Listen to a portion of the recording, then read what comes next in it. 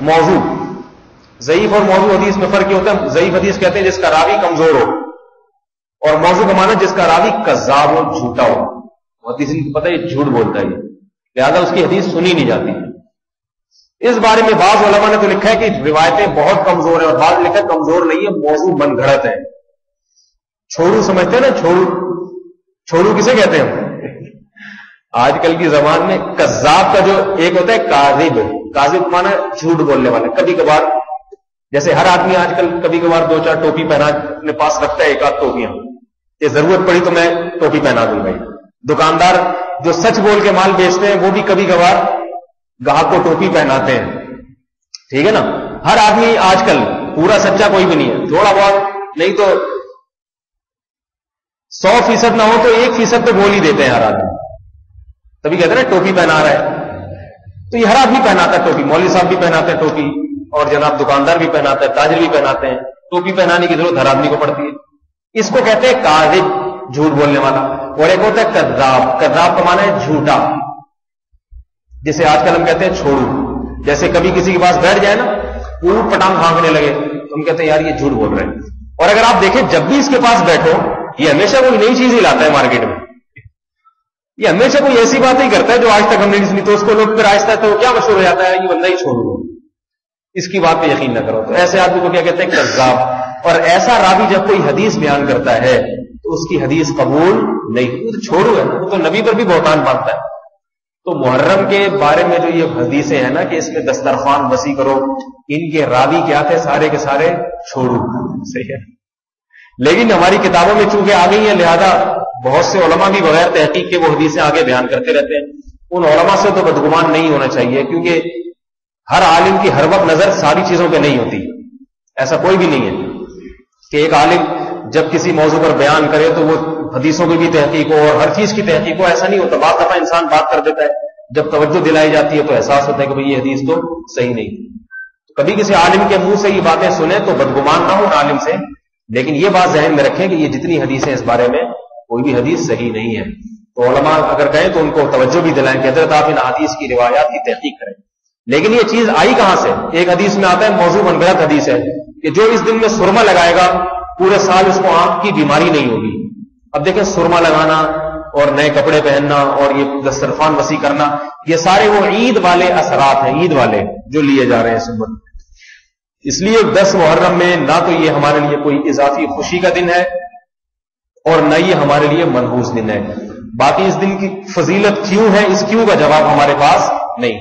ایک وجہ تو یہی ہے کہ اللہ کے نبی نے حکم دیا کہ جب حضرت موسا کو نجات ملی ہے تو موسا علیہ السلام کی یاد میں اگر یہودی منا رہے تو ہم اس سے زیادہ روزہ رکھیں گے، شکرانے کے طور پہ۔ اللہ کے نبی اگر نہ کہتے تو ہم یہ روزہ نہ رکھتے۔ ہاں، کیونکہ کسی کی خوشی کو منانا یا روزہ رکھنا یہ جب تک ہمارے نبی حکم نہ دے، ہم یہ کام نہیں کر سکتے۔ تو نبی نے حکم دیا اس لیے ہم کر رہے ہیں۔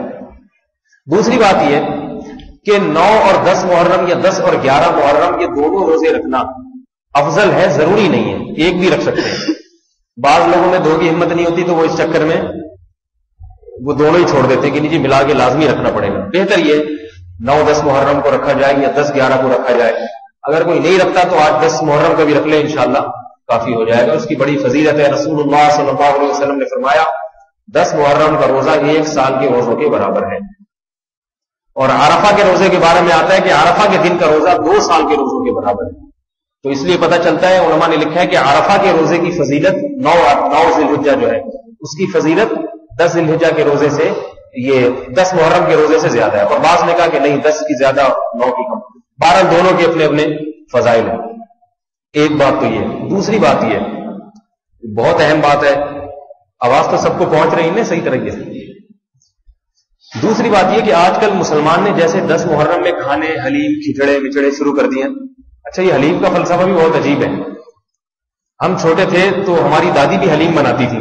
سگی دادی نہیں بناتی تھی، ہماری سگی دادی بڑی ماشاء اللہ عقیدے میں بڑی مضبوط تھی۔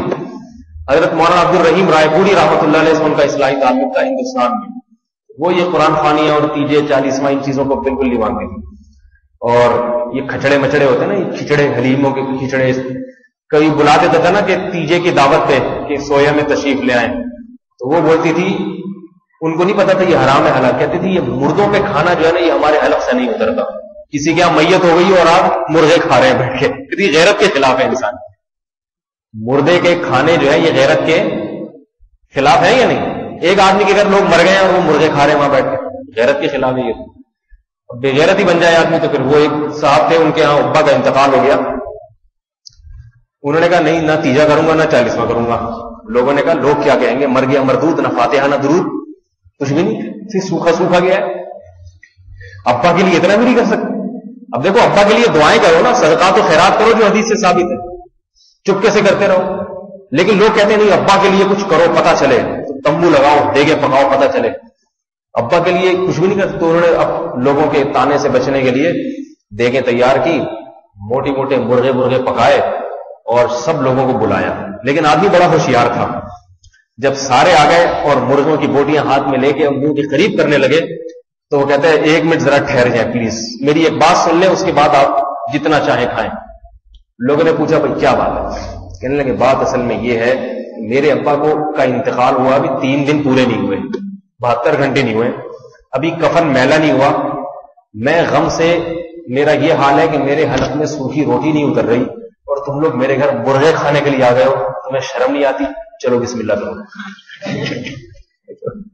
لوگ کہنے لگے، کم بخت بسم اللہ کے قابل چھوڑا گئے اس نے کہا، کھاؤ نا، کھائیے۔ وہ پرانے لوگ تھے، کھانا ویسے چھوڑ کے چلے گئے۔ ہماری حضرت فرمایا کرتے تھے، اگر آج کا مسلمان ہوتا، پھر بھی کھاتا۔ ثواب ہے، برکت، تبرک کا کھانا ہے۔ لوگ اس کو چھوڑتے نہیں، کہتے یہ کھانا کبھی نہیں چھوڑنا چاہیے۔ یہ سالے سوال اس پہ قرآن پڑا ہوا ہے۔ یہ حلوے سامنے رکھ کے پوری سورہ فاتحہ سات دفعہ پڑھی ہے، میں نے خود دیکھا ہے۔ اتنا ایسا کھانا کیسے چھوڑ دے؟ تو آج کا مسلمان ہوتا تو نہیں چھوڑتا، اس کے بلکہ وہ حلق میں ڈال کے آپ ہاتھ بھی ڈال دیتے نا، اس کے حلق میں کھینچتے وہ ہاتھ چبا کے کھا جاتا یہ کھانا نہیں چھوڑوں گا۔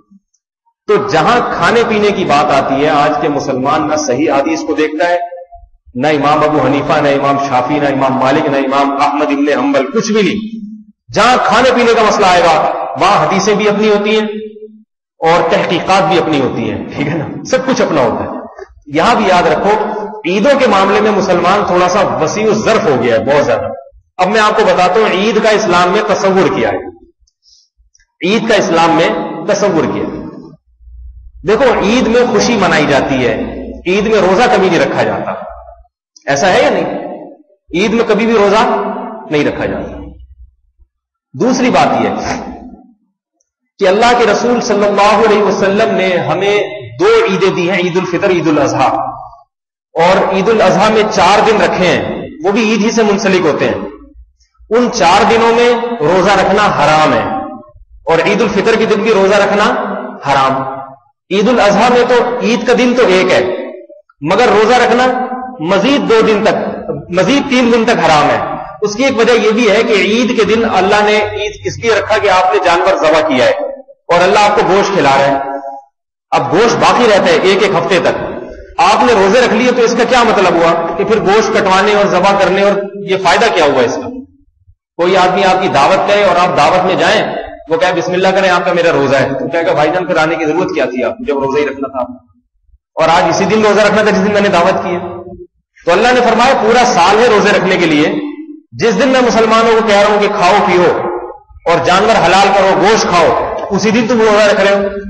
تو یہ اللہ کی میزبانی سے اعراض ہے۔ پتا چلا کھلائی پلائی اور عید کا دن یہ جمع، روزہ یہ جمع نہیں ہو سکتے۔ اب میرے بھائی بتاؤ، جس دن رات کو آپ حلیم پکا رہے ہیں، اس سے اگلے دن روزہ رکھنے کا شریعت حکم دے سکتی ہے۔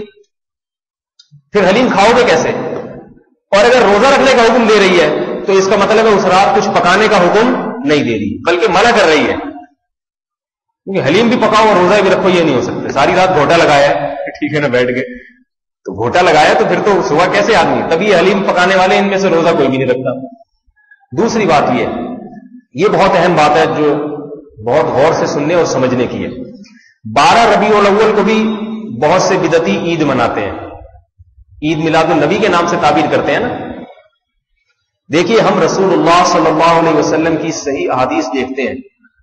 اللہ کے نبی صلی اللہ علیہ وسلم پیر کے دن روزہ رکھتے تھے۔ صحابہ نے پوچھا، یا رسول اللہ، آپ اس دن روزہ کیوں رکھتے ہیں؟ آپ صلی اللہ علیہ وسلم نے فرمایا، یہ میری پیدائش کا دن ہے۔ لہذا میں چاہتا ہوں کہ اس دن روزے سے رہا کروں۔ آپ صلی اللہ علیہ وسلم نے اپنی پیدائش کے دن کو عبادت کا دن قرار دے دیا اور عبادت نماز والی نہیں، کیونکہ یہ نماز والی عبادت تو عید کے دن بھی ہو جاتی ہے۔ آپ یہ بھی تو کر سکتے تھے کہ آج میری پیدائش کا دن ہے، پیر کا دن، لہذا میں نمازیں زیادہ پڑھوں گا۔ اس طرح بھی تو شکر ادا ہو جاتا ہی نہیں ہو جاتا۔ آج چونکہ میری پیدائش کا دن ہے، لہذا میں صدقات و خیرات زیادہ کروں گا۔ بہت باریک بات ہے، سمجھنے کی کوشش کریں۔ لیکن آپ نے نہ صدقات و خیرات کا حکم دیا، نہ اس دن زیادہ صدقات و خیرات کیے، نہ زیادہ نمازیں پڑھی۔ کیونکہ نمازیں اور عید جمع ہو سکتی ہے۔ عید کے دن بھی زیادہ نمازیں پڑھی جا سکتی ہیں۔ عید کے دن تو صدقات و خیرات زیادہ کیے جاتے ہیں، باقاعدہ صدقہ فطر دیا جاتا ہے۔ اور قربانی کا گوشت صدقات و خیرات میں تقسیم کیا جاتا ہے۔ عید اور صدقات و خیرات جمع ہو سکتے ہیں، عید اور نمازیں جمع ہو سکتی ہیں، مگر عید اور روزہ جمع نہیں ہو سکتا۔ آپ نے روزے والی عبادت کر کے بتا دیا کہ میری پیدائش کا دن روزے کا دن تو ہو سکتا ہے، عید کا دن قطان نہیں ہو سکتا۔ نہیں آئی بات بھائی آ رہی ہے تھوڑی تھوڑی۔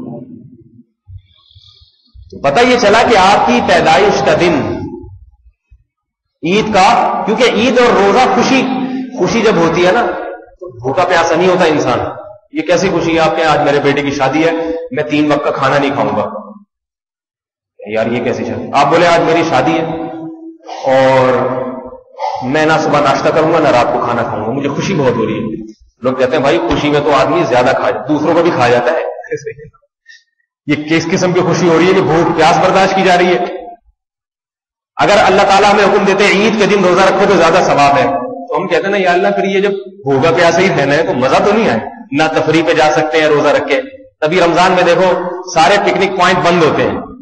وہ روزہ خور ہی گھوم رہے ہوں گے، اس میں روزے دار کوئی بھی نہیں ہوگا۔ نہ لوگ ساحل سمندر پہ رمضان میں جاتے ہیں، حتیٰ کہ شادیاں بھی نہیں کرتے۔ شادی ہال بھی بند ہوتے ہیں۔ رمضان روزہ رکھیں یہ شادی وادی کا مزہ نہیں ہے روزہ۔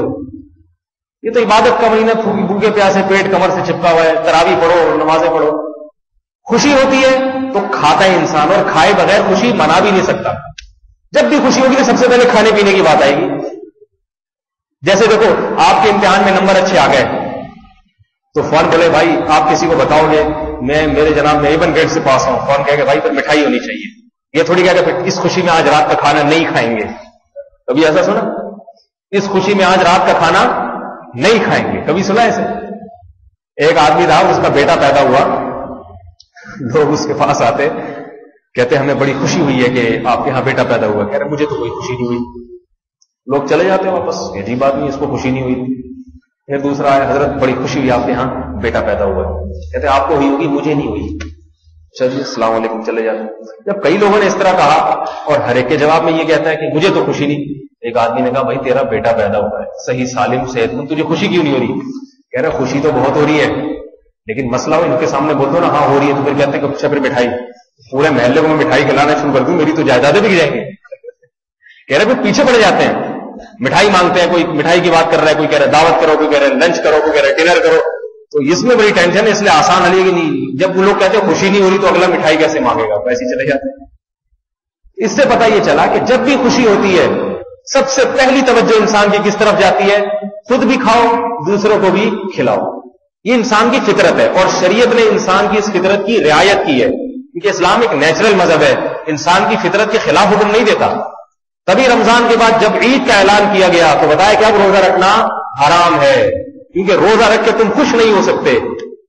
نماز پڑھنا حرام نہیں ہے، بلکہ نمازیں تو مزید اضافہ کر دیا دو رکعت اور عید کی نماز آگے پڑھو۔ نماز بڑھا دی، صدقہ کی مقدار بڑھا دی گئی، لیکن روزے کو منع کر دیا گیا کیونکہ بھوکا آدمی خوش نہیں ہوتا۔ دیکھو رمضان میں روزے میں کیسے پھیکے پھیکے چہرے ہوتے ہیں اثر کے وقت۔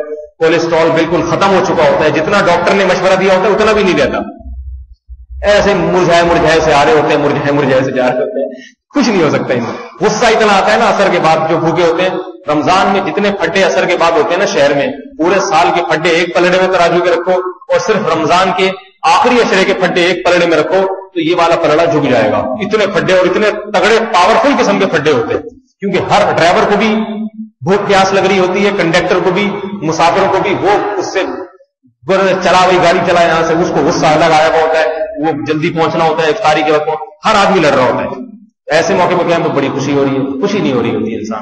تو میں یس کر رہا تھا، اب دیکھو، پیر کے دن محمد صلی اللہ علیہ وسلم نے روزہ رکھ لیا اور یہ اس نے اشارہ دے دیا کہ قیامت تک اب میری امت، میری پیدائش پہ عید منا نہیں سکتی۔ تصور ختم کر دیا ہمیشہ کے لیے۔ اس کی ایک اور دلیل، جمعہ کا دن مبارک اور مقدس دن ہے یا نہیں ہے؟ ہے نا مقدس دن؟ جمعے کو بھی مجازی عید کہا گیا ہے، چھوٹی عید ہے، خوشی کا دن ہوتا ہے۔ اسی لیے رسول اللہ صلی اللہ علیہ وسلم نے جمعے کو نہانے دھونے کا بھی حکم دیا۔ صاف ستھرے کپڑے پہنتے ہیں، عید جمعے کی نماز آ کے پڑھتے ہیں۔ یہی خطبہ جو عید میں ہوتا ہے، وہی جمعے کے دن بھی خطبہ ہوتا ہے۔ عید کی نماز خطبے کے بغیر نہیں ہوتی، جمعے کی نماز خطبے کے بغیر نہیں ہوتی۔ چونکہ یہ دن بھی خوشی کا دن ہے۔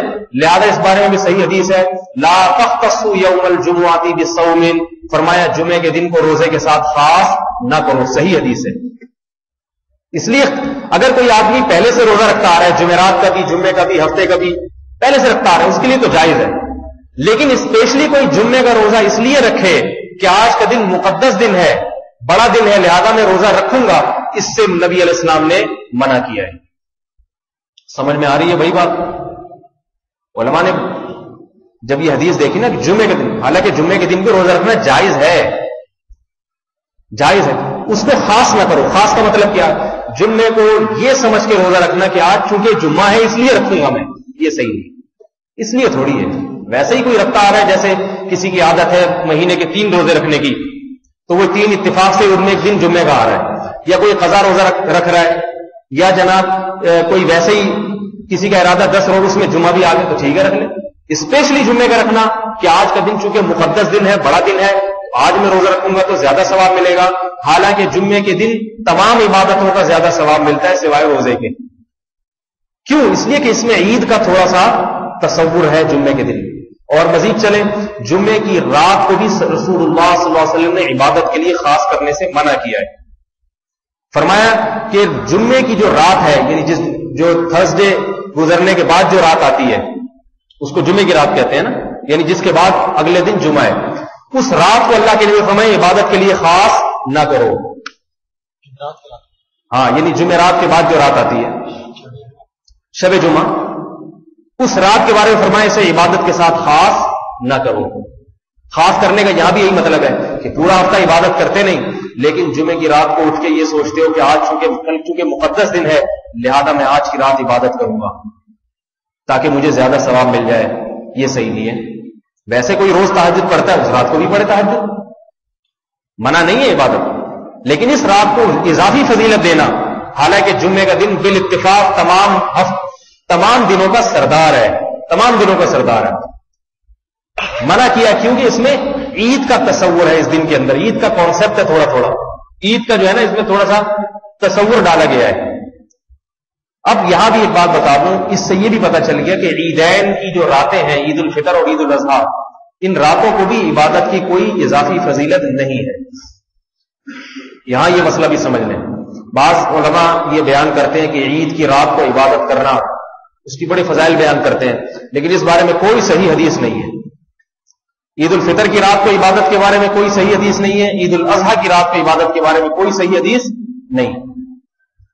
بلکہ اس کے مخالف پر دلائل قائم ہے وہ دلائل کیسے قائم ہے دیکھو اللہ کے نبی صلی اللہ علیہ وسلم جب سورج غروب ہوتا تھا، سورج جب غروب ہوتا تو افطاری میں آپ صلی اللہ علیہ وسلم جلدی فرمایا کرتے تھے۔ کیوں؟ یہ بتانے کے لیے کہ اب ہمارا روزہ نہیں ہے۔ اب خام خواہ بھوکا پیاسا رہیں گے اور اس میں ثواب سمجھیں گے تو یہ بدت عمل بن جائے گا۔ جب تک اللہ نے پابندی لگائی، پابند رہیں گے۔ جب پابندی اٹھی تو ہم یہ بتانے کے لیے کہ پابندی اٹھ گئی ہے، فوراً کھائیں گے، فوراً پیئیں گے۔ اس لیے آپ صلی اللہ علیہ وسلم نے افطار میں جلدی کرنے کا حکم دیا یہ جلدی کیوں حکم دیا تاکہ پتہ چل جائے کہ روزے کا وقت ختم ہو گیا۔ تو یاد رکھو، رمضان میں دو عبادتیں ہیں۔ ایک دن کا روزہ اور ایک رات کی تراوی اور تحجد یہ مستقل دونوں عبادتیں، دونوں رمضان کے ساتھ خاص ہیں۔ تحجد کی جو فضیلت رمضان میں، وہ دوسرے سال پورے سال میں نہیں ہے۔ تبھی رات کو جاگنے کا بہت حکم دیا ہے۔ اب جیسے ہی عید کا چاند نظر آیا، تو یہ دونوں عبادتیں مرتفع ہو گئی سمجھ رہے ہیں نا؟ جو رمضان کے ساتھ خاص تھی، یہ دونوں عبادتیں کیا ہو گئی ختم۔ لہذا عید کی رات کو یہ سمجھنا کہ آج میں عبادت کروں گا تو زیادہ ثواب ملے گا۔ یہ اس اصول اور قیاس کے بھی خلاف ہے۔ اور صحیح حدیث سے بہرحال ثابت نہیں ہے۔ ویسے بھی ایک بات ہے، اس کو للت الجائزہ کہا جاتا ہے نا، انعام کی رات۔ تو جو انعام کی رات ہوتی ہے، وہ عبادت کی رات نہیں ہوتی۔ جیسے عید کا دن انعام کا دن ہے نا، انعام کا دن کا کیا مطلب؟ روزے رکھے، اب اللہ سے تمہیں اس کا اجر ملے گا۔ تو جو ریزلٹ کا دن ہوتا ہے، وہ امتحان کا دن نہیں ہوتا۔ اسی طرح رمضان کی راتوں میں جو عبادتوں میں تھکایا جا رہا تھا، عید کا چاند نظر آتے ہی وہ عبادت کیا ہو گئی؟ ختم۔ باقی کوئی تحجد کا معمول ہے تو وہ عید کی رات میں تحجد پڑے جس کا معمول نہیں ہے، وہ نہ پڑے پوری رات پورا سال سوتا رہا ہے تو ایک دن اور سو جائے صحیح ہے۔ اس لیے سو جائے کہ چلو کل عید کا دن میں جاگ کے گزاروں گا ذرا اچھا گزر جائے گا۔ تھوڑا کھاتے پیتے ورنہ پوری رات عبادت کرے گا۔ اب بعض لوگ اس کے اتنے فضائل بیان کرتے ہیں کہ عید کی جس نے احیا الفطر جس نے عید کی رات کو زندہ کیا پوری رات جاگا رہا تو یہ فضیلت میرے بھائی جب پوری رات ایک آدمی عید کی رات جاگے گا تو وہ پھر عید کی صبح کو خوشی کیسے منائے گا؟ اس کو تو عمر ہوگا۔ لوگ مل رہے ہوں گے اس سے آ کے حضرت خیریت سے ماشاء اللہ عید مبارک، وہ سوتے سوتے کبھی گردن میرے دھڑک رہی ہے اور تحجد پڑھ پڑھ کے آنکھیں اندر کو چلی گئی ہوں گی، رنگ اس کا نیلا پیلا ہو گیا ہوگا تو جیسے عید کا دن کھاتا پیتا اچھا لگتا ہے انسان طرح عید کی رات کو انسان آرام کر لے۔ لیکن جس کا پہلے سے معمول ہے وہ کرے عبادت۔ بعض چیزیں ہمارے معاشرے میں ایسی لاشوری طور پر آ گئی ہیں جن کی کوئی تحقیق سے ثابت نہیں ہے۔ دوسری بات، یہ سمجھ میں آ گیا نا پورا؟ عید کا تصور یہ جب ہے جب بارہ ربی الاول کو مان لیا جائے کہ نبی کی پیدائش کا دن ہے۔ ورنہ حقیقت تو یہ کہ بارہ ربی الاول نبی کی پیدائش کا دن ہے ہی نہیں۔ تو اس دن یہ بدتی لوگ عید مناتے ہیں، ناچتے ہیں اور ایسا عید ایسی عید مناتے ہیں کہ ایسی عید عید الفطر میں نہیں مناتے۔ جس کا نبی نے منانے، بتاؤ عید الفطر میں کوئی بریک ڈانس کرتا ہوا نظر آیا آپ کو؟ بریک ڈانس میں اس لیے کہہ رہا ہوں کہ اب بارہ ربی الاول پہ صرف ناچا نہیں جاتا، باقاعدہ بریک ڈانس ہونے لگے۔ یا رسول یا رسول میں کیا بتاؤں آپ کو؟ کیسے ہوتا؟ میں ایک دفعہ جا رہا تھا تو دیکھا کہ گرین چینل والوں کی گاڑی رکی۔ میں بائک پر پیچھے ایک دم وہ سارے چینل والے نیچے اتر کے دونوں ہاتھ اوپر کر کے ڈانس کر رہے میں نے یعنی کہ ان کو کیا ہو گیا؟ اچھا بولے داڑیوں والے۔ داڑھی والا ناچتا ہوا ویسے ہی اچھا نہیں لگتا۔ گھوم رہے ہیں، رقص ہو رہا ہے۔ یا رسول اللہ، رسول کی آمد، مرحبا۔ آقا کی آمد، مرحبا۔ تو ناچ رہے تو یہ تو میرے بھائی اتنا خوش تو عید میں نہیں ہوتا، عید الفطر میں نہیں ہوتا۔ تو بارہ ربیع الاول کو دیکھو، خوش ہونا الگ چیز ہے، خوشی منانا الگ چیز ہے۔ خوش ہونے پر نہ گورنمنٹ کی طرف سے کوئی پابندی ہے، نہ اللہ کی طرف سے خوش تو کبھی بھی ہو سکتا ہے انسان۔ اگر کسی کو ربیع الاول کے مہینے سے محبت ہے اس لیے کہ اس مہینے میں نبی علیہ السلام آئے ہیں، کوئی بات نہیں، بہت اچھی بات ہے۔ اگر آپ کو نبی کی مناسبت سے اس مہینے سے محبت ہو گئی، لیکن اس محبت میں آپ اپنی مرضی سے کوئی عبادت نہیں کر سکتے۔ اگر آپ کیونکہ عبادت کے لیے ضروری ہے کہ قرآن اور حدیث سے اس کا ثبوت ہونا چاہیے، اگر نہیں ہے تو پھر آپ وہ کام نہیں کر سکتے۔ سمجھ رہے ہیں نا؟ اور جتنا ہے اتنا کرنا پڑے گا۔ روزہ پیر کے دن تو ثابت ہے، بارہ ربی الاول کا روزہ بھی ثابت نہیں ہے۔ نبی نے پیر کا دن رکھا، بارہ ربی الاول کو نہیں رکھا روزہ۔ تو نہ بارہ کو رکھا، نہ نو کو رکھا، یہ یہ عمل بدت ہے۔ یہ محرم کے حوالے سے کچھ باتیں تھیں اور تو کوئی غلط فہمی نہیں پہلے محرم کے بارے عاشورہ کی بڑی بڑی آدم علیہ السلام کی پیدائش کہتے ہیں، اس دن ہوئی تھی. آدم علیہ السلام کی توبہ قبول ہوئی، قیامت آئے گی. یہ کسی صحیح حدیث سے ثابت نہیں ہے یہ چیز. ٹھیک ہے نا؟ کیا کروں؟ نہیں ہے، میرا تو قصور نہیں ہے نا اب لوگ کہتے ہیں ہر چیز کے بارے میں یہی کہہ دیتے ہیں ثابت نہیں ہے. تو بھائی، میرا تو قصور نہیں ہے، اس میں ثابت نہیں ہے. جو کہتے ہیں، ان سے دلیل مانگو کال ہم حدیثوں کی تحقیقات بتائیں گے اس کو اس میں یہ راوی ابن حجر نے اس راوی کے بارے میں یہ لکھا ہے، علامہ دہبی نے اس کو قذاب اور دجال لکھا ہے. جو مشہور محقق حضرات گزرے ہیں اسماع الرجال کے، جن کی بات معتبر سمجھی جاتی ہے ان حضرات نے ان راویوں کو کذاب اور دجال اور ضعیف لکھا ہے، تو پھر تو کوئی ان کی رائے سے ہٹ تو نہیں سکتا۔ یا تو کوئی کہ میں ایسا محدث ہوں، میں اپنے پہلوں میں سے کسی کی بات کو مانتا ہی نہیں ہوں۔ سارے ایسے ہی تھے۔ ٹھیک ہے پھر۔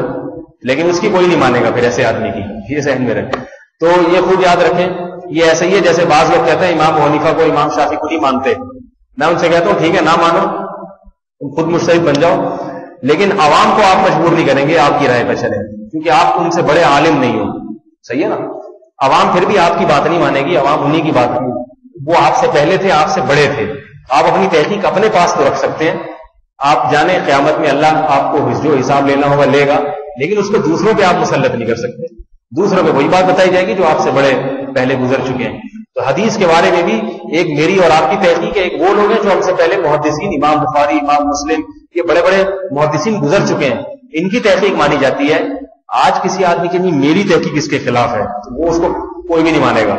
تو کون ہے؟ پندرہویں صدی میں پیدا ہو کے بات کر رہا ہے۔ تو یاد رکھو، اس بارے میں حدیث صحیح نہیں ہے، ٹھیک ہے نا؟ البتہ میں نے بتایا کہ اگر کسی عالم سے اس کے خلاف سنے پھر علماء سے بدگمان نہ ہو دنیا میں کوئی ایسا نہیں ہے جس سے غلطی نہ ہوتی ہو۔ کوئی ایسا نہیں ہے جو ہر چیز میں پوری تحقیق کر کے بات کرتا ہوں میں اس لیے کہہ رہا ہوں کہ میں یہاں ایک بات کرتا ہوں اور آس پڑوس کی مسجدوں میں امام لوگ کبھی کوئی محرم کی فضیلت میں بیان کر دیتے ہیں کہ جی آدم علیہ السلام کی توبہ قبول ہوئی تھی۔ اب یہ نوجوان طبقے کو شر پھیلانے کا موقع ملتا ہے۔ یہ مولوی صاحب کے پاس جا کے کہتا ہے، وہ مولانا طارق مسعود صاحب تو کہہ رہے تھے کہ یہ سو فیصد غلط۔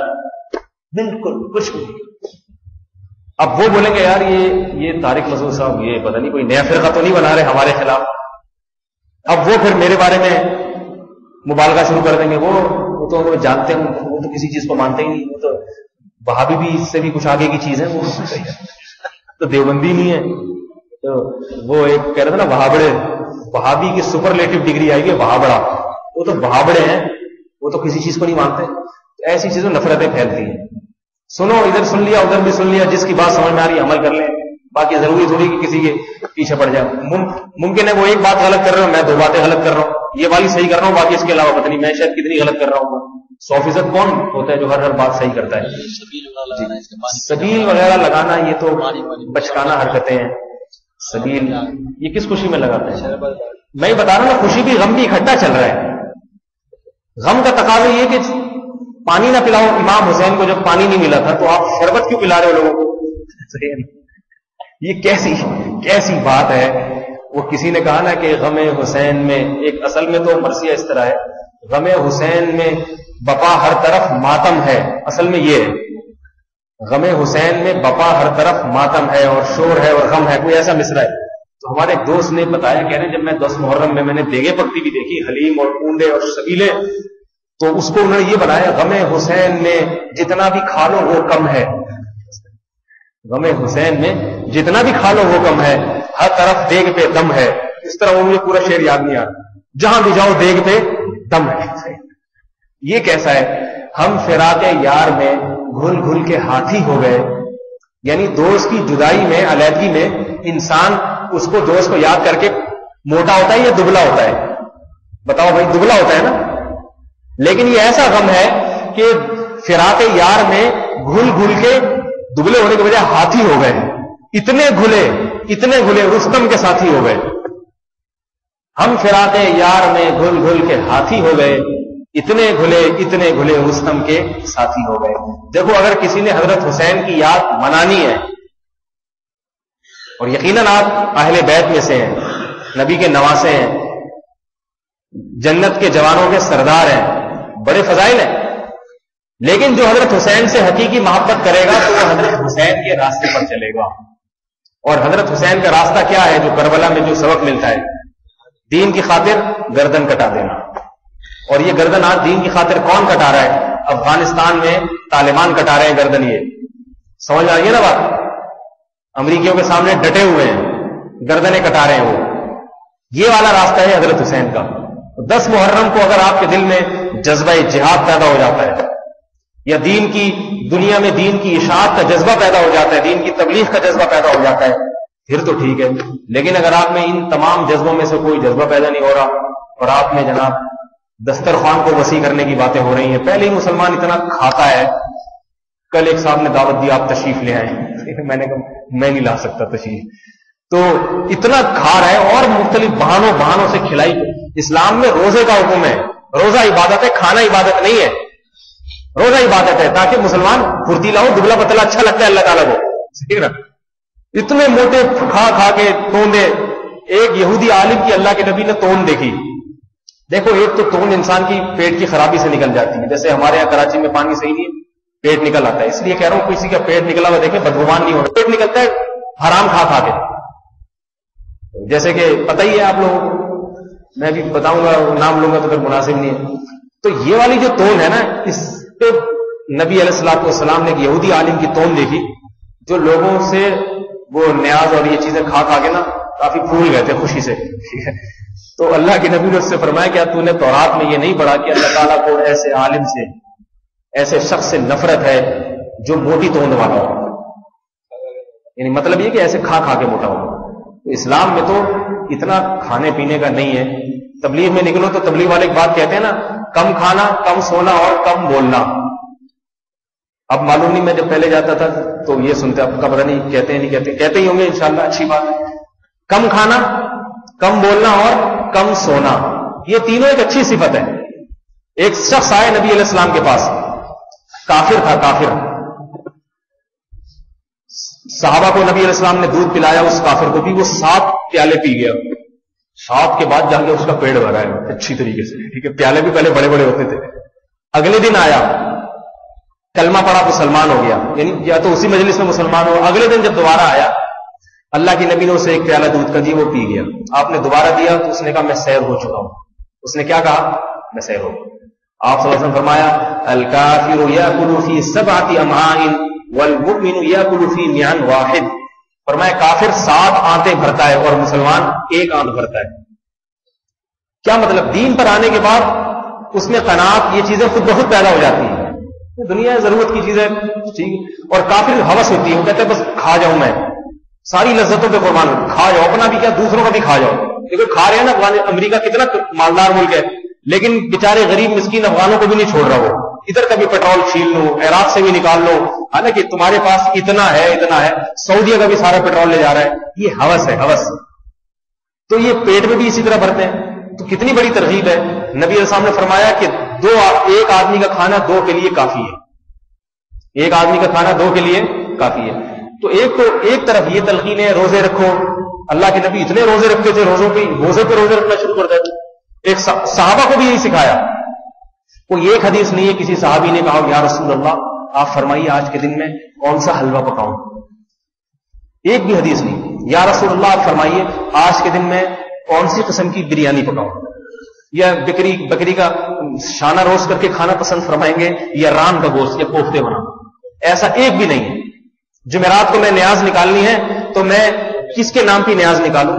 یا محرم میں کنڈے پکانے ہیں تو کس طریقے سے پکاؤں؟ کنڈوں میں تافتان مناسب رہیں گے یا نان پہ گزارا ہو جائے گا؟ کوئی بھی حدیث نہیں ہے۔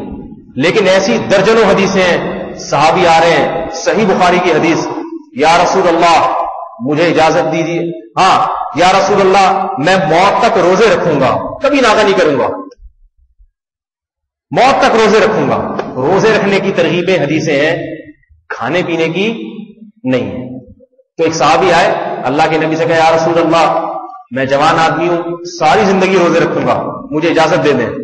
آپ نے فرمایا، نہیں، تم میں اس کی طاقت نہیں ہے۔ کچھ کم کرو۔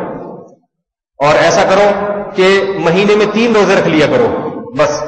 اور فرمایا کہ یہ تین روزے پورے سال کے روزوں کے برابر ہو جائیں گے۔ وہ لوگ نیکی پہ حریص تھے۔ میں نے کہا، ٹھیک ہے، تین روزے پورے سال کے برابر تو ہوں گے، لیکن اگر پورے سال رکھوں، پھر کس کے برابر ہو جائیں گے؟ ہم ہوتے ہم کہتے ہیں تین ہو صحیح ہو صحیح۔ تین دفعہ قرو اللہ پڑھ لو تو پورے قرآن کا ثواب مل جاتا ہے نا۔ حدیث میں ہے، تو پورا قرآن پڑھنے کی کیا ضرورت؟ یہ نہیں پتا جب تین دفعہ قرو اللہ کا پورے قرآن کے برابر تو پورے قرآن کا ثواب پھر کتنا زیادہ ہوگا؟ پورے قرآن کا بہت زیادہ ہوگا ثواب۔ تو ان صحابی کو نبی نے فرمایا کہ دیکھو، اور دلیل بھی دی اللہ کے نبی نے۔ فرمایا، ایک نیکی اللہ کے دربار میں دس نیکیوں کے برابر، تو ایک روزہ دس روزوں کے برابر، اور تین روزے تیس روزوں کے برابر۔ دلیل بھی دے دی۔ تیس، تین روزے، تیس۔ تو ایک مہینے میں تین روزے رکھ لیے تو پورے تیس روزوں کا ثواب اور بارہ مہینے یہ کام کر لیے تو پورے سال کے روزوں کا ثواب۔ لیکن صحابی نے فرمایا، یا رسول اللہ، مجھ میں اس سے زیادہ کی طاقت ہے۔ تین تو کچھ بھی نہیں، جوان آدمی ہوں تین سے زیادہ رکھ سکتا ہوں میں۔ آپ نے تھوڑا سا بڑھایا، فرمایا، میں اس سے بھی زیادہ رکھ سکتا ہوں۔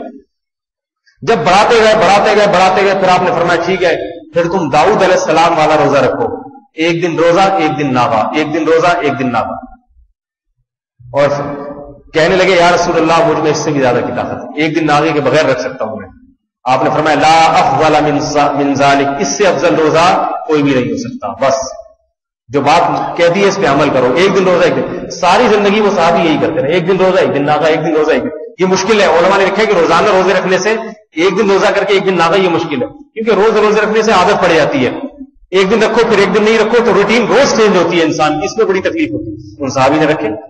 تو صحابہ کرام نبی کے پاس یہ نہیں آتے تھے، آج جمعرات کی نیاز کس کون سے پیر کے نام پہ، فقیر کے نام پہ نکالوں یا آپ کے نام پہ نکالوں۔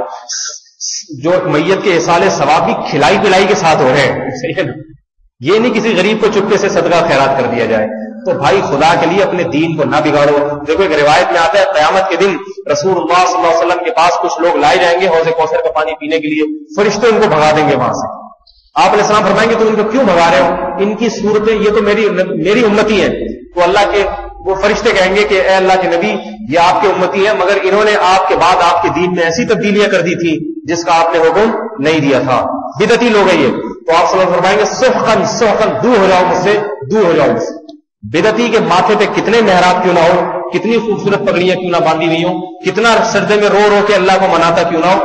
لیکن اس نے ایک شریعت میں اگر زیادتی کر لی، اپنی طرف سے چیزیں ایجاد کر لی، اللہ کے ہاں اس کا یہ عمل مردود ہے۔ دیکھو، نماز میں ہم ایک رکعت میں دو سجدے کرتے ہیں نا، تین کر لیں تو نماز برباد ہو جائے گی، نہیں ہو جائے گی؟ اب کوئی تین سجدے کر رہا ہے، آپ اسے آگے کہیں، تین غلط ہے کہ لوگ مجھے سجدہ کرنے سے روک رہے لوگ مجھے سبحان ربی اللہ پڑھنے سے روک رہے ہیں۔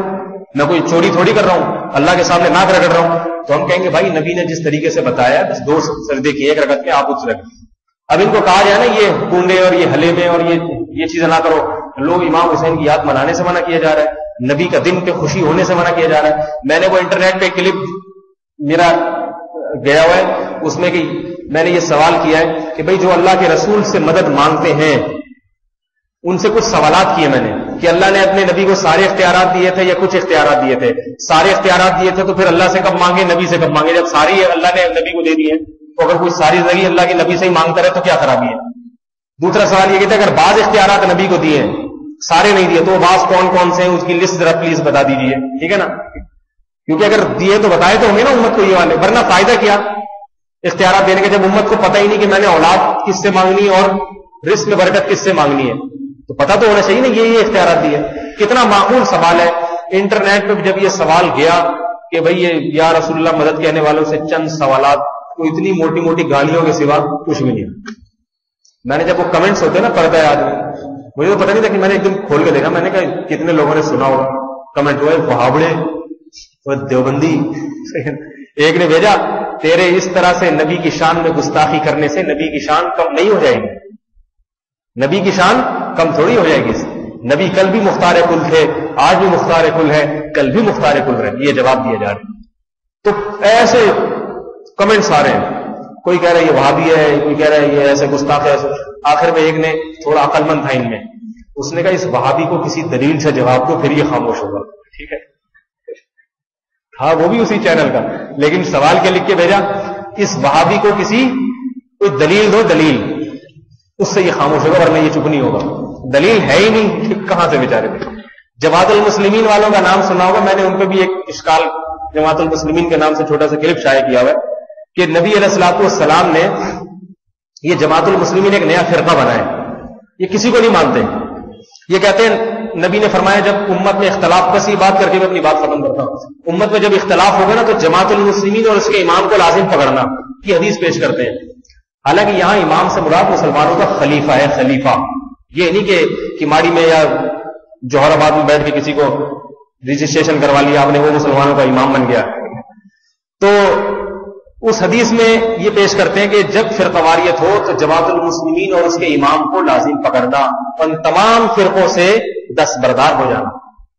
تو وہ کہتے ہیں، ہم تمام نہ ہم حنفی ہیں، نہ شافی ہیں، نہ مالکی ہیں، نہ حنبلی ہیں، نہ تبلیغی ہیں، نہ دیوبندی ہیں، نہ بریلی ہیں، سارے فرقے غلط ہیں۔ ہم تمام سے دستبردار ہو کر آؤ جماعت المسلمین میں اور اس کے امام کو لازم پکڑو۔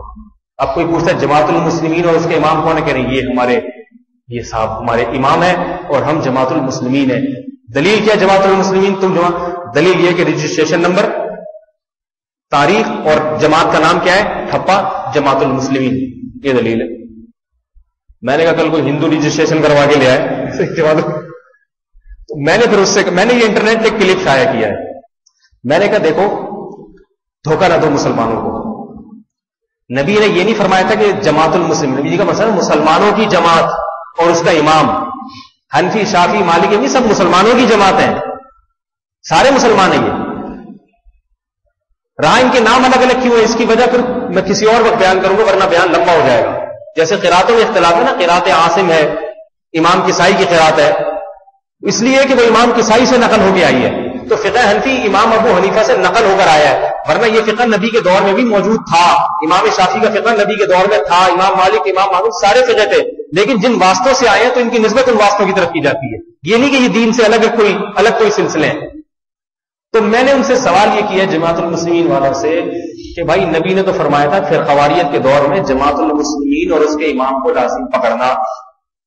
اور پوری حدیث یہ ہے کہ اگر جماعت المسلمین اور اس کا امام نہ ملے، تو پھر درختوں میں، جنگلوں میں جا کے درختوں کے پچے پتے چبا کے، جڑے چبا کے گزارا کرنا۔ تمام فرقوں سے علیحدہ ہو جانا۔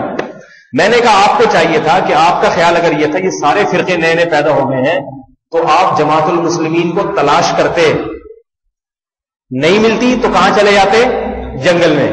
آپ نے تلاش کی نہیں ملی تو کیماڑی میں آپ نے خود بنا لی، آج سے پچیس تیس سال پہلے۔ بنانے کا ذکر کس حدیث میں؟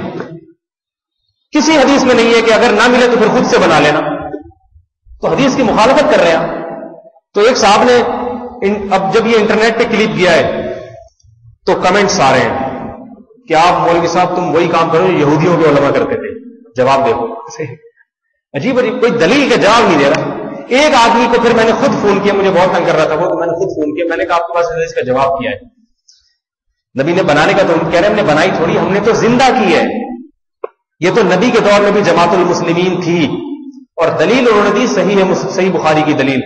صحیح بخاری کی دلیل وہ ہے، حدیث میں آتا ہے کہ نبی علیہ السلام نے فرمایا، عید کے دن جماعت المسلمین کے ساتھ عورتیں بھی نماز میں شرکت کریں، یہ حدیث ہے۔ جماعت المسلمین کے ساتھ عورتیں بھی نماز میں شرکت کریں۔ تو انہوں نے کہا، دیکھو، اس سے پتہ چلتا ہے کہ جماعت المسلمین نبی کے دور میں بھی موجود تھی۔ نہیں یاری بات سمجھ میں؟ یہ دھوکہ ہے الفاظ کا۔ حدیث کا ترجمہ یہ نہیں ہے، جماعت الحدیث ہے، مسلمانوں کی جماعت میں شرکت کرے یہ ترجمہ ہے۔ دیکھو، جماعت المسلمین اور مسلمانوں کی جماعت میں ایسے ہی فرق ہے، جیسے ابو حنیفہ میں اور حنیفہ کے ابو میں فرق ہے۔ ہر حنیفہ کا ابو ابو حنیفہ تھوڑی ہوتا ہے۔ ہر غلام احمد احمد کا غلام تھوڑی ہوتا ہے۔ غلام احمد ایک نام ہے اور احمد کا غلام کوئی صاحب ہوں گے، ان کا نام کچھ اور ہوگا۔ نہیں ہے بات؟ عبداللہ، ہر آدمی جو اللہ کا بندہ بن کے رہے، اس کو عبداللہ نہیں کہتے۔ عبداللہ اسی کو کہتے ہیں جس کے باپ نے اس کا نام عبداللہ رکھا ہوگا۔ تو حدیث کا ترجمہ یہ ہے کہ جماعت المسلمین سے مراد مسلمانوں کی جماعت میں شرکت کریں۔ یہ مطلب ہے کہ جماعت المسلمین نام کا جو فرقہ بنا لے اس میں۔ اس کی دلیل یہ کہ آگے حدیث میں یہ بھی آتا ہے، دعوت المسلمین، مسلمانوں کی جماعت اور مسلمانوں کی دعا میں شرکت کرے۔ اب وہاں دعا میں یہ نہیں کرتے دعوت المسلمان کہتے ہیں مسلمانوں کی دعا میں۔ اور جہاں نماز کا ذکر آیا تو مسلمانوں کی جماعت میں شرکت کریں۔ خدا کے بندو، تم پورا ترجمہ یا تو دونوں میں یوں کرو گے جماعت المسلمین اور دعوت المسلمین میں شرکت کرے۔ یا پھر دونوں طرف یہ ترجمہ کرو، مسلمانوں کی جماعت اور مسلمانوں کی دعا میں ایک طرف ترجمہ کر رہے ہیں جماعت المسلمین کی نماز میں شرکت کرو اور آگے کر رہے ہیں کہ مسلمانوں کی دعا میں۔ یہاں مسلمانوں کی کاکی کے ایک لفظ یہاں کیوں آ رہا ہے؟ یہاں دعوت المسلمین کا ہو نا دوسری بات یہ کہ اگر اس وقت جماعت المسلمین تھی بالفرض آپ کہہ رہے ہیں آج ہم نے اس کو زندہ کر دیا ہے تو زندہ وہ چیز کی جاتی جو پہلے سے موجود ہو۔ جو غائب ہو جائے اس کو زندہ نہیں کیا جاتا اس کو دریافت کیا جاتا ہے نکالا جاتا ہے کہیں سے۔ ٹھیک ہے نا؟ جماعت المسلمین اس دور میں اگر وہ تھی، تو اس دور کے بعد آپ ایک ہزار سال کی تاریخ اٹھا کے دیکھیں گے، آپ کو مسلمان چار مسلک میں نظر آئیں گے۔ حنفی، مالکی، شافعی اور حنبلی۔ اور بہت تھوڑے سے اہل ظاہر، جن کو جو آج اہل حدیث مسلک جس میں چل رہا ہے، بہت تھوڑے سے وہ ملیں گے۔ ورنہ امت حنفی شافی مالکی، حنبلی اور تھوڑے سے اہل حدیث۔ تو ان سے پوچھو، اس وقت جماعت المسلمین کہاں گئی؟ میں نے ایک سے پوچھا امام بخاری کے دور میں جماعت المسلمین کون سی تھی؟ اس کہاں تھی وہ؟ امام مسلم جو اس حدیث کو نقل کرنے والے وہ کون سی جماعت المسلمین کے ہاتھ میں میں تھے؟ تو زندہ وہ چیز کی جاتی ہے جو ہو آپ جان ڈال کے زندہ کر دیں۔ ہے ہی نہیں تو زندہ کہاں سے؟ وہ مارکیٹ میں لائی جا رہی ہے وہ نہیں۔ تو یہ جو کماری میں تیرہ سو پچانوے ہجری میں جماعت المسلمین بنی ہے یہ نبی کی جماعت المسلمین کو زندہ نہیں کیا گیا یہ اپنی طرف سے ایک فرقہ پیدا کر کے جماعت المسلمین گڑی گئی ہے اس کی بنیادیں رکھی گئی ہیں۔ اور نبی نے جس فرقواریت سے منع کیا تھا کہ نیا فرقہ نہ بنا لینا، بلکہ عام مت المسلمین سے منسلک رہنا، اور بتایا جو نیا فرقہ بنائے گا، ہٹے گا، وہ جہنم میں جائے گا۔ انہوں نے یہ ڈبل جرم کیا، ایک نیا فرقہ بنایا، اور حدیث تو کہہ رہی ہے کہ جو نیا فرقہ بنائے گا، جہنم ہی ہوگا وہ۔ تو نیا فرقہ بنایا اور اہل جہنم نام رکھنے کے بجائے جماعت المسلمین نام رکھ لیا۔ یہ ایسے ہی ہے جیسے کوئی آدمی چور ہو اور نام پولیس خان رکھ لے ہو۔ اس سے وہ پولیس تھوڑی بن جائے گا۔ ٹھیک ہے۔ نہیں رہی بات سمجھ۔ آپ کوئی آدمی چوری کرتا ہے اب اس کو جب پکڑا گیا تو وہ کہتا ہے میں چور نہیں ہوں۔ کیوں چور نہیں؟ میرا نام تو پولیس خان ہے۔ اور پولیس کے جتنے بینیفٹس ہیں وہ سارے مجھے ملنے چاہیے۔ لوگ کہیں گے بھائی حرکتوں سے پتا چلتا ہے کہ آپ پولیس ہے یا نہیں۔ ہے نام سے نہیں پتا چلتا۔ یاد رکھو جماعت المسلمین کی سب سے پہلی نشانی یہ ہے کہ وہ الگ فرقہ نہیں بنائے گی۔ عام مسلمانوں سے جڑ کے رہے گی۔ جیسے حنفی، شافی، مالک، عملی ایک دوسرے سے کے رہتے ہیں۔ سعودیہ میں ہم جاتے ہیں نا حمبلی اماموں کے پیچھے نماز پڑھتے ہیں۔ شافی ہماری مسجد میں موجود ہے، ہمارے پیچھے نماز پڑھتے ہیں۔ آج تک کبھی اختلاف نہیں ہوا، کیونکہ ہمیں پتا ہے کہ یہ فروئی اختلاف صحابہ کرام میں بھی موجود تھے، مگر لڑتے نہیں تھے۔ ایسا نہیں ہوا، صحابہ میں اختلاف ہوا فروئی مسئلے میں۔ لیکن کسی صحابی نے جماعت المسلمین نام کی کوئی تنظیم نہیں بتائی، بلکہ کہا ان کی یہ رائے، میری یہ رائے۔ دیکھو نبی نے فرمایا بنو قریضہ پہنچنے سے پہلے کوئی اثر کی نماز نہ پڑھے۔ صحابہ گئے، راستے میں اختلاف ہو گیا۔ کہ نماز قضا ہونے لگی۔ بعض نے کہا پڑھیں گے، بعض نے کہا نبی نے کہا نہیں پڑھو۔ صحابہ میں اختلاف ہو گیا اور کسی نے پڑھی، کسی نے نہیں پڑھی۔ دو دھڑے بن گئے نا صحابہ کے۔ فروئی مسئلے میں اختلاف ہوا۔ جب یہ دھڑے واپس آئے ہیں نبی نے کسی کو ملامت نہیں کی۔ نہیں صحابہ کو اس وقت یہ خیال ہے، دو دھڑے بن گئے اور پھر قواریت تو اسلام میں حرام ہے۔ اب ہمارے چونکہ ایک نماز پڑھنے والے، ایک نہ پڑھنے والے، لہذا جو پڑھنے والے وہ جماعت المسلمین اور جو نہیں پڑھنے والے وہ جماعت الجہنمین ایسا نہیں ہوا۔ نبی کے انتقال کے بعد صحابہ میں فروئی مسائل میں بہت اختلاف ہوا ہے۔ عبداللہ بن مسعود فرماتے تھے، جو امام کے پیچھے قرات کرتا ہے، تلاوت کرتے میرا دل چاہتا ہے اس کے منہ میں کنگارے ٹھوس دوں میں، یہ اختلاف۔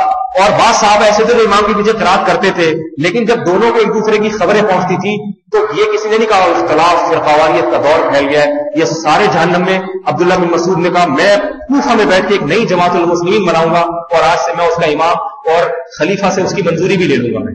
ایسا نہیں ہوا، ٹھیک ہے ان کو پتا تھا فروئی مسائل میں اختلاف یہ وہ فرقہ واریت نہیں ہے جس کے بارے میں نبی نے بتایا ہے۔ تو کہتے ہیں نا کہ عقل کے بغیر اگر انسان کے پاس علم آتا ہے نا، تو وہ ایسے ہے جیسے آپ خنزیر کے گلے میں ہار ڈال دیں۔ اچھا لگے گا وہ؟ علم تو بیچاروں کے پاس آ گیا ہے، مگر صلاحیت نہیں ہے۔ تو یہی حال بیچاروں کا۔ پھر یہ ایک لفظ کہتے ہیں تقلید۔ کہتے ہیں تقلید جو ہے نا، یہ کلادہ ہے، پٹا ہے، پٹا۔ کلادے سے نکلا ہے کلادہ جو کتے کے گلے میں پٹا ڈالا ہے۔ کہہ رہے تکلیف جو آپ امام منی کی کرتے ہو، یہ کلادہ ڈالا ہوا ہے گلوں میں آپ لوگوں نے، پٹا۔ ان بیچاروں کو یہ بھی نہیں پتا کہ کلادہ جب انسان کے گلے میں ہو تو پٹا نہیں، وہ ہار کہلاتا ہے، ہار۔ اور کتے کے گلے میں ہو تو پٹا کہلاتا ہے، ٹھیک ہے نا؟ انسان اگر تکلیف کا کلادہ ڈالتا ہے تو انسان کا زیور ہار کہلائے۔ اور یہ حدیث سے ثابت ہے، صحیح بخاری، صحیح مسلم کی حدیث میں کہ حضرت عائشہ کے گلے میں کلادہ تھا، وہ گر گیا، اس کو تلاش کرنے میں دیر لگی تو تیمن کی آیات نازل ہوئی وہاں کلادے کو کوئی یہ کہہ سکتا ہے کہ حضرت عائشہ کے گلے میں معذ اللہ پٹا ڈلا ہوا تھا؟ کوئی کہہ سکتا ہے؟ وہاں سب یہ بھی ترجمہ کرتے ہیں، ہار ڈلا ہوا تھا۔ تو یہ تقلید کا کلادہ تقلید کہتے ہیں انسان خود سے مستحد بننے کے بجائے اپنے سے بڑے کسی مستحد کی رہنمائی میں قرآن اور حدیث میں چلے۔ یہ کلادہ ہمارے گلے کا زیور ہے۔ اور یہ جو ہے نا مادر پدر آزاد آج کی جو نوجوان نسل پیدا ہو رہی ہے وہ کہہ رہی جو حدیث کا مانا میری سمجھ میں آ رہا ہے، بس وہ ہے، وہ میں سب پہ تھوکوں گا، جو نہیں مانتا وہ سارے جہنم میں. لہٰذا فرقہ پھیل گئے، اب ہم یہاں بیٹھ کے ایک نئی جماعت المسلم بنائیں گے، جس کا رجسٹریشن نمبر یہ ہوگا، اور حدیث میں جتنے فضائل جماعت المسلم اس کے امام کو لازمی پکڑنے سے متعلق وارد ہوئے، سارے اس امام کے اوپر فٹ ہوں گے، جس امام کو بےچارے کو ایک حدیث کا ترجمہ نہیں آیا۔ جس کو چاہیے تھا جنگل میں نکل کے جڑے چباتا، وہ یہ کام نہیں کرتا۔ تو اللہ تعالیٰ ان فرقوں سے، فتنوں سے ہماری حفاظت فرمائے۔ اور یاد رکھو، اہل حق علماء کو اللہ تعالیٰ زندگی دے۔ علماء کا جو اہل حق علماء کا وجود، یہ پانی اور آکسیجن سے زیادہ ضروری ہے۔ ورنہ انسان کا ایسے فرقے پیدا ہو رہے ہیں، انسان کا ایمان سلب کر لیں اور ختم کر لیں گے۔ اللہ تعالیٰ نے محرم کے بارے میں بے اعتدالیوں سے بچائے رسول اللہ صلی اللہ علیہ وسلم کی صحیح اور کامل اتباع کی توفیق عطا فرمائے۔ سبحانک اللہ و بحمدک نشهد ان لا الہ الا انت، نستغفرک ونتوب الیک۔